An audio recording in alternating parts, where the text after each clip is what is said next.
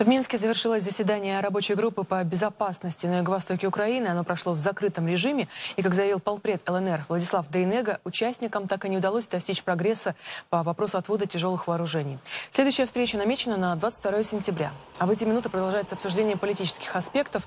От того, насколько успешно пройдет согласование спорных позиций, зависит в том числе подготовка к саммиту нормандской четверки в Париже. Не исключено, что Киев продолжит саботировать выполнение минских договоренностей. Такое мнение высказал секретарь Совбеза России Николай Патрушев. По его словам, обстановка в Донбассе – это прямое доказательство того, что украинские власти не планируют признавать ДНР и ЛНР, а вместо отвода вооружений с подачи Вашингтона лишь подыгрывают антироссийским настроениям. Каждый визит на Украину Виктория Нулан подтверждает, что Украина не является самостоятельным государством, а находится под внешним управлением Вашингтона. Очевидно, что ее поездки связаны не с советами и консультациями по вопросам региональной стабильности, как нам преподносит западная пропаганда, а с прямыми указаниями руководству страны, как действовать.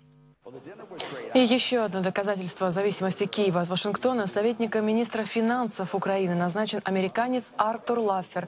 Его взгляды на экономику сформировались в 70-е и 80-е годы. На пике карьеры он консультировал политиков прошлого века Рональда Рейгана и Маргарет Тэтчер.